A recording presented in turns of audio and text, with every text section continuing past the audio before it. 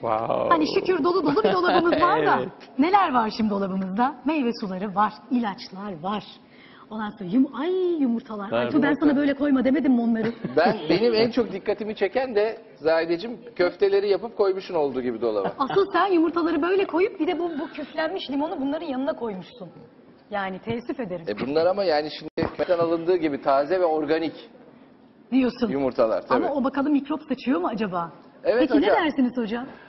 Valla sırayla başlayalım. Şimdi e, tabii yumurta benim çok e, ilgimi çekiyor. Hanımlar da çok meraklı yumurtayı bir yıkarlar.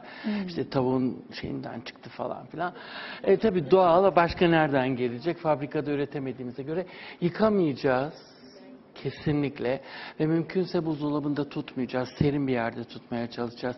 Ha, e, çünkü o biraz rutubetli ortam yaratabiliyor. Biraz evvel de konuşuldu.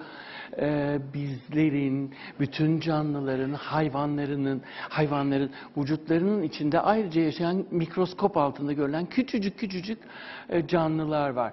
Ee, tabii bu hayvanın da Şöyle alabiliriz. E, evet.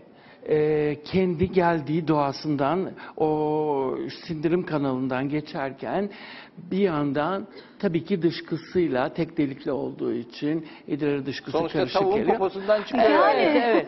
E, Orada mikroorganizmalar var. Yıkadığınızda bu kalsiyum e, por deliklerinin içinden bu buradaki mikroorganizmalar e, patojen etki gösteriyor. Yani- Yani hastalık yapıcı. hastalık yapıcı etki gösteriyor. Bunun içine geçiyor. İçerisine muhteşem bir besin ortamı orada gelişiyorlar. Ee, işte biliyorsunuz çok duyuyoruz virüsler, e, E. coli diyorsunuz, bunları çok duyuyoruz.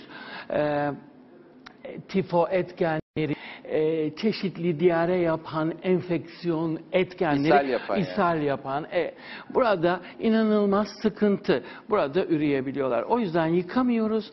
Son dakika kullanırken kırıyoruz ve kullanıyoruz. Peki bunlar e, de gerçekten şimdi yumurta hakikaten laboratuvarlarda mikroplar büyüsün diye kullanılan bir ortam. O kadar besleyici ki bizi beslediği Tabii. gibi mikropları da besliyor. Tabii. O nedenle çok duyarlı olmamız lazım. Yıkadığımız zaman önceden bir kere içine nüfuz ediyor değil mi o ıslaklıkla tabii, tabii, beraber? Kesinlikle. Zaten e, benim tavsiyem e, üzerinde e, ürün kod e, numaraları var artık paketlenmiş ambalajların. 20-25 günlük raf ömrü var. Siz kullanacağınız kadar ürününüzü eve taşıyınız. Bizim en büyük hatalarımızdan bir tanesi çok ürün getiriyoruz eve. Yani burada da öyle yığma e, bir vaziyetinde dolap görüyoruz. Dolaplar yığılmayacak şimdi onu da herhalde Bu kadar, konuşacağız. tabii. Böyle yığılmayacak, daha düzenli konacak. Tamam bakıyoruz ama sanki market e, rafı gibi Market olmuş. rafı gibi gerçekten öyle. Böyle olmayacak. Ama alıyoruz. e, Elimizin altında bulunsun istiyoruz. Dolap da bu yüzden değil mi? Doldurmayacağız. Nereye koyacağız bunları? Bir Hayır. kısmını. e, şöyle bir ka- e, bir şişe bir bu şekilde ürün koyup aralarındaki hava sirkülasyonunu sağlamak zorundayız. Yan yana onları koyup da böyle blok yapmayacağız. bir şekilde ürünleri. Yani bu ortam belli bir ısıyı versin diye üst üste bindirdiğin zaman öyle bir etkileşim olmuyor. Hava hareket etmek zorunda ama bu raflar için de aynı şey geçerli. Peki bir şey soracağım. Evet. Bakın birinin de kapağı koyup çocuklar böyle bunu içiyorlar. Koy veriyorlar ondan sonra. Kapak açık. O, o da Tekrar içmek istersek bunu. Ee, orada birkaç sorunlardan bir tanesi çok e, mikrobiyal kirli yani havadan küflerin, bakterilerin, çeşitli mikroorganizmaların girmesi için bir faktör, bir e, kapı ama aynı zamanda da burada açık bırakılan diğer ürünlerin kokularının da birbirine geçmesi için bir neden. Yani kapağı kaybettiğimizde de orayı demin elinizdeki streçle kapamamız mümkün. Yemeklerin de e, kapakları açık. Yemekleri soğutup koymak diye yok. Hep bize böyle öğrettiler çocukluğumuzdan. beri. İşte yemek e, pişirdikten sonra soğutulur buzdolabına öyle. Hayır, direkt buzdolabına siz e, ılık yemeğinizi kabıyla aynen e, aktarabilirsiniz. Hiç e, onda bir sorun yaşanmaz. Biraz daha enerji çeker belki. O- e, hocam orada için. çok önemli bir şey daha var. E, buzdolabı kendi soğuma e, zaten e, şeyine sahip, faktörüne sahip. E, siz ılısın diye dışarıda beklediğinizde ya da soğusun diye beklediğinizde eğer belli bir miktarda kaynatamazsanız istediğimiz düzeyde mikroplar ürüyor. Hiçbir şey olmuyor.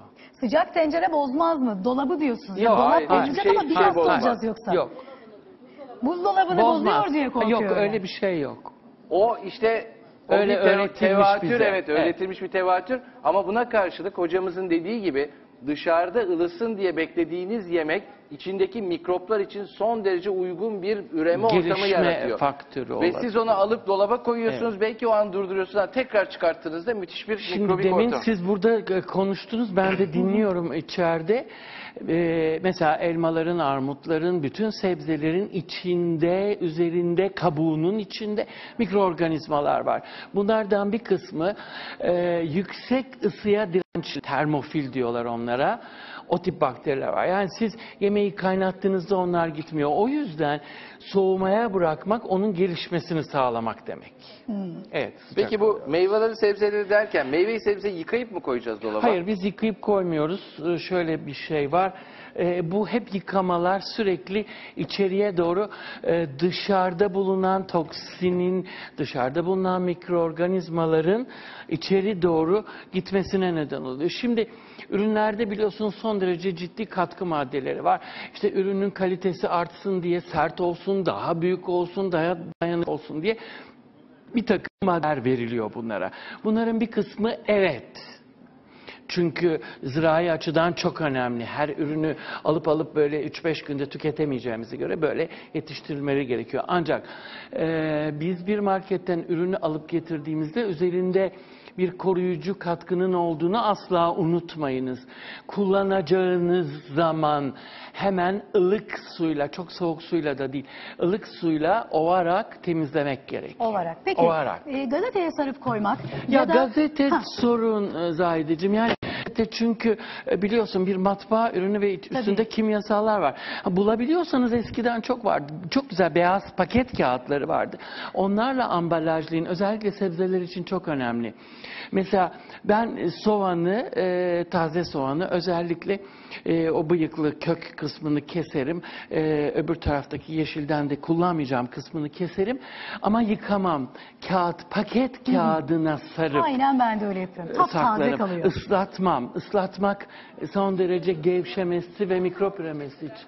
Kağıt peçete. Peçeteye Peçete sarabilirsiniz, olabilir. kağıt havluya sarabilirsiniz. Beyaz olacak, üstünde matbaa olmayacak.